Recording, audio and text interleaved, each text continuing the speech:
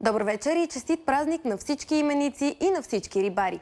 През тази нощ и утре, преди обяд, на много места в равнините отново ще е мъгливо, така че ако ще шофирате, бъдете внимателни.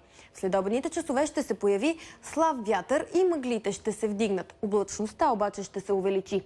Сутринта термометрите ще показват от минус 2 до плюс 2-3 градуса. Максималните стойности през деня ще са от 10 до 15 градуса в южните райони от страната. В местата с по-трайна мъгла ще бъде по-хладно. Над планините ще преобладава предимно слънчево време. Ще започне за облачаване в следобедните часове. Вятърът ще е слаб предимно от север. Максималната температура на надморска височина от 1200 метра ще бъде около 13 градуса. Снежната покривка достига от 15 см на Леко до 40 см на Тодорка.